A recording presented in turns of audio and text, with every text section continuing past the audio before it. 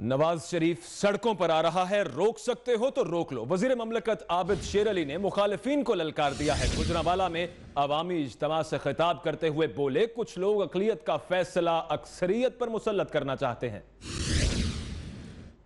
इंशाअल्लाह ताला परसों बुध वाले दिन, नवाज़ शरीफ के शाना बिशाना पाकिस्तान की सालमियत के लिए, पाकिस्तान की अजमत के लिए और पाकिस्तान की तरक्की के लिए जीटी रोड पर रेफरेंडम का ऐलान करेगी। ये अवामी रेफरेंडम अवामी वज़ीर आज़म नवाज़ शरीफ का रेफरेंडम है। नवाज़ शरीफ को रोक सकते